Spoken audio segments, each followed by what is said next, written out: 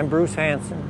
This is called Surfside Seaplane Base, and we're in Lino Lakes, Minnesota. I'm quite sure we're the largest in the lower 48 states as far as numbers of airplanes based here. Now we've probably got somewhere between uh, 40 and 50 aircraft based here. It's an exhilarating thing when you take off across the water. You got a high-speed boat ride, and then you go flying, and you can go to practically any lake within the state of Minnesota. And then you can go into Canada, where the, the fishing is absolutely great. There's people who've driven in who came here to get a float rating, and they drive in, and they, they've called it a seaplane utopia. Brian has students come all over the world. We have a lot of Europeans that come here for float ratings. We provide storage for aircraft individuals want to have a uh, have an airplane, they can they can keep it here.